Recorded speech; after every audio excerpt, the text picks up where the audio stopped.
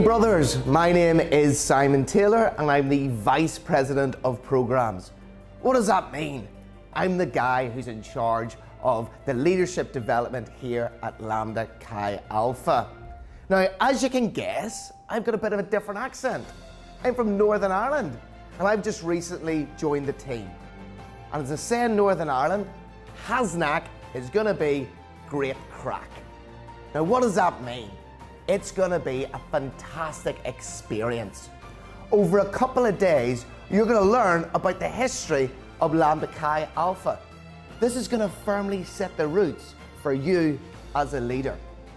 In large and small group sessions, you're going to undertake multiple activities and experiences that are going to make you a better leader back in your chapters.